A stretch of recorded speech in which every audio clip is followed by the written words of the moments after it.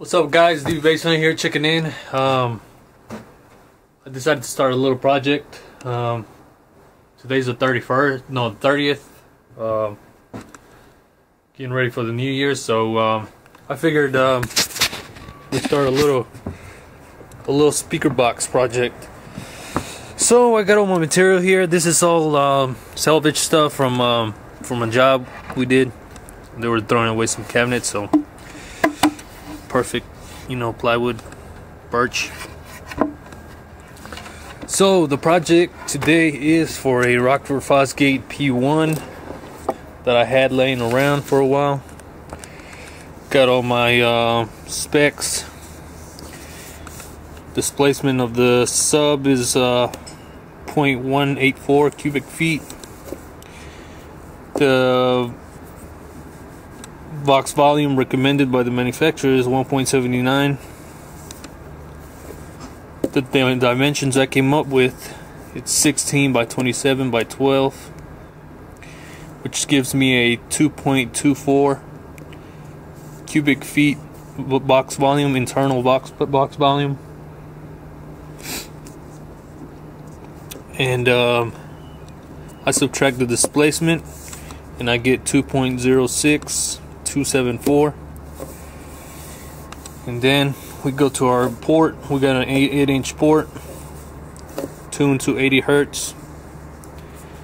Port length is 4.5 we go to calculate the port volume. So it's it's about a uh, you guys seen my ports? They're about an eighth inch thick. So I came up with a 0.01488 port volume. So our final volume will be 2.04786. Now that's going to change a little bit. It might increase, might it's probably going to decrease a little bit. Probably roughly to the 2 2 cubic feet mark I'm aiming for. Reason being is that I will fiberglass the front piece of the box.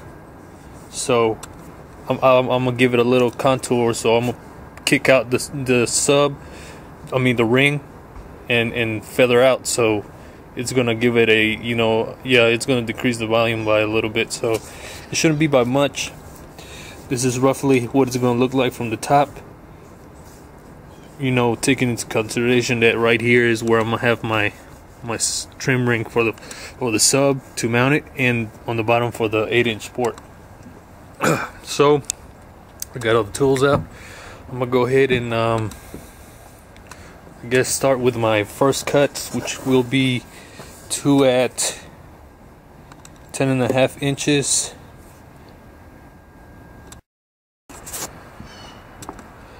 Okay so I got all my cuts um, ten and a half inches wide. So now um, let's see. I gotta go ahead and miter these I got two at 14, I think 14 and a half. And um, let's see if they came out 10 and a half. Yep, perfect. And I got two at 26.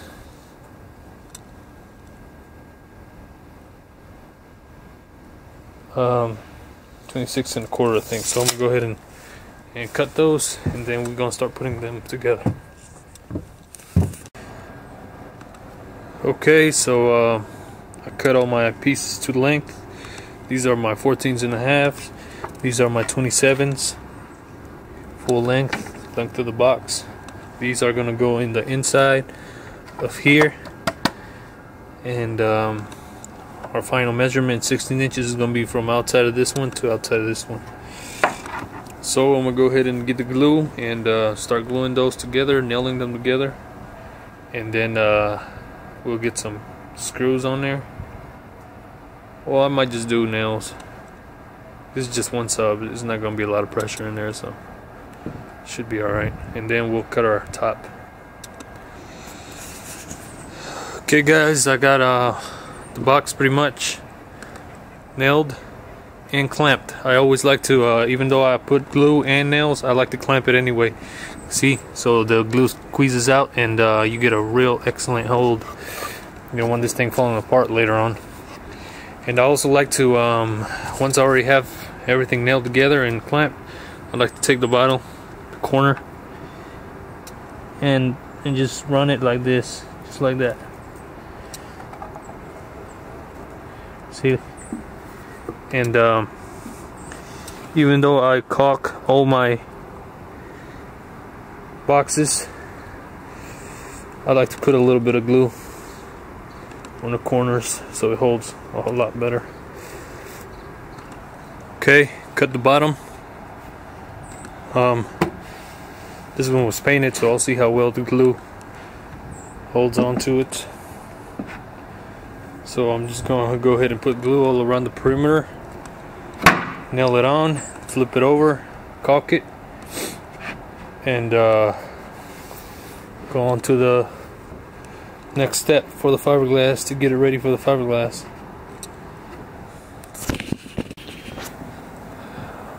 Okay, got the top on, or the bottom. Um, got some clamps on there, all nailed, as you can see. Already set up my uh, table saw to chop it up to the uh, to the right measurement on this side, which is eight and a quarter from here to whatever and then uh, I'm gonna figure out what kind of shape I'm gonna give this. I don't know. I was thinking maybe an angle and then um, plateau right here on the top. Um, the size of the um, sub and then again the angle. Or I'm gonna just do a diameter. And then the fleece is gonna stretch over into like the the ring. So I don't know. I'll figure that out. So let me go ahead and um, get that cut and uh, we'll go from there. Okay um, I cut the pattern that I wanted or the shape of the box. That's what it's gonna look like. Fleece is gonna wrap all around this. Cut a 45 on this so I get almost a zero edge. I guess I'm gonna run it to like midway staple it midway and then once I get the bondo and everything it should come out to the edge. Um, just to give you guys an idea it's gonna be like this for the 12 and the port right next to it right here. Okay guys um, it's like I don't know maybe like 3 o'clock yeah, 3 o'clock. This is what I got done so far. Got the port ring in there. Got the subwoofer ring in there. Um,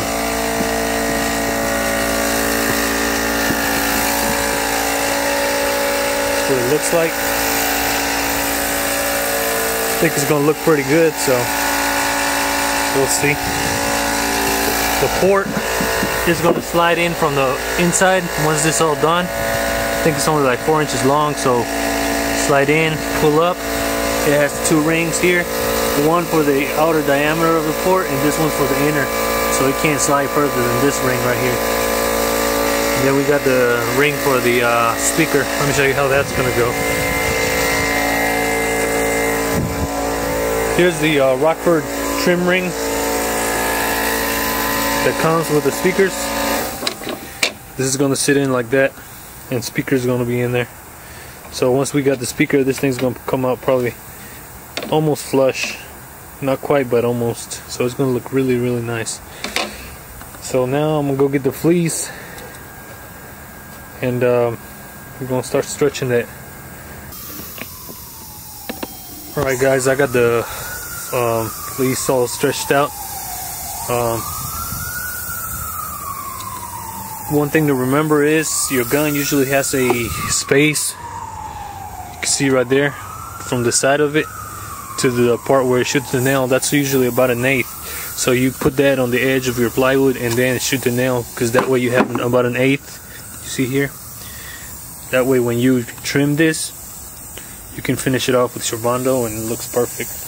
Um, one thing to remember is you leave about an eighth to a quarter inch gap between each staple depending on how it's laying out. For example, here I missed a spot, so